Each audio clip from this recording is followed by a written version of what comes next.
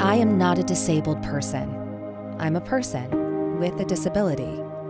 While it's part of who I am and one of many things that makes me unique, my disability doesn't define me. My ability does. My capability, my reliability, my adaptability, my availability. People with disabilities are more than a growing untapped workforce. We are a force to be reckoned with. Because when companies like Cognizant work to break down barriers, eliminate bias, and provide safe, welcoming spaces for us to thrive, the value and impact of people like me on our company, our industry, and our future will only grow stronger. And that's an inevitability. Cognizant is dedicated to empowering people with disabilities everywhere we operate.